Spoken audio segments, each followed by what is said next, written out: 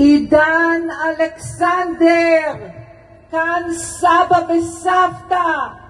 İsrail'in en büyük işçi sendikası Histadrut, İsrail basınındaki haberlere göre ülke genelinde greve gidileceğini açıkladı.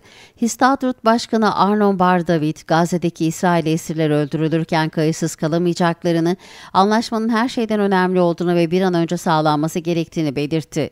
Ülkenin farklı kamplar arasında parçalandığını söyleyen Bar David, bunu düzeltmek için ülke genelinde ekonominin kapatılacağını dile getirdi. Gazze şeridindeki İsrail esirlerin aileleri de sendikanın grev kararını memnuniyetle karşıladıklarını duyurdu.